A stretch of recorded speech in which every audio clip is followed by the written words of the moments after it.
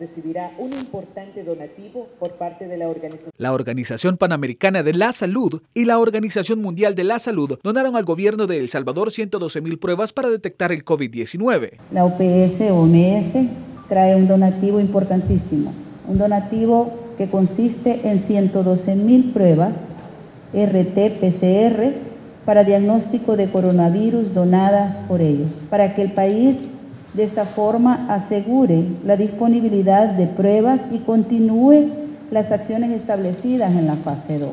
Según detalló el ministro de Salud, en la actualidad se están realizando 1.500 pruebas diarias, lo que hace a El Salvador el país que más pruebas realiza diariamente en la región. Con este donativo que la Organización Mundial de la Salud a través de la OPS está dando, nos da la capacidad de poder eh, continuar con las expectativas de llegar a las 1.500, si es posible, más de esas pruebas diarias, con lo cual podemos ir identificando en nuestra población cómo va siendo el crecimiento de esta enfermedad. Hoy por hoy estamos realizando ya la fase 2, que es la magnificación de pruebas. Somos uno de los países en la región que más pruebas de, de PCR está teniendo.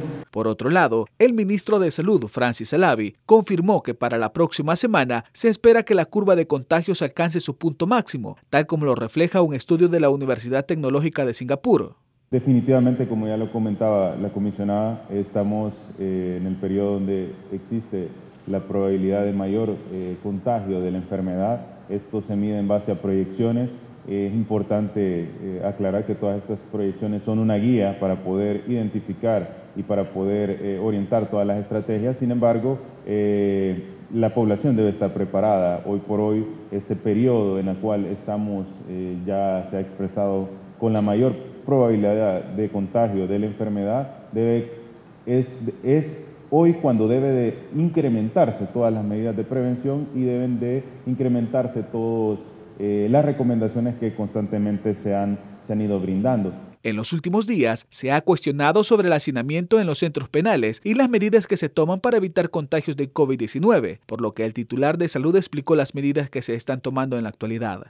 En centros penales hemos diseñado toda una estructura para poder, en conjunto con el director general de centros penales, eh, un apoyo por parte del Ministerio de Salud para poder implementar filtros y toda una estrategia para evitar que esta, esta población eh, de, privados de libertad esté de alguna manera expuesto porque manejar eh, esta enfermedad es complicado en los diferentes sectores de la población. Hoy por hoy no tenemos casos en los cuales en centros penales se ha identificado un paciente positivo. Informó para la prensa gráfica.com Melvin Alas.